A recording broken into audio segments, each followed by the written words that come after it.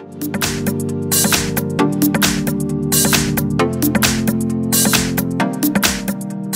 I've got Xiaomi Mix 3 and let me show you how to change the font size on the following device.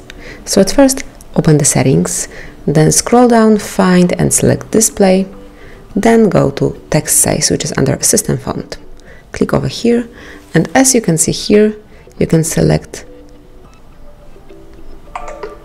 select the size of your font so here is the solution so it can be a huge one default one or very small one you can check how it will look like in the main menu on your home screen and also in, for example, settings.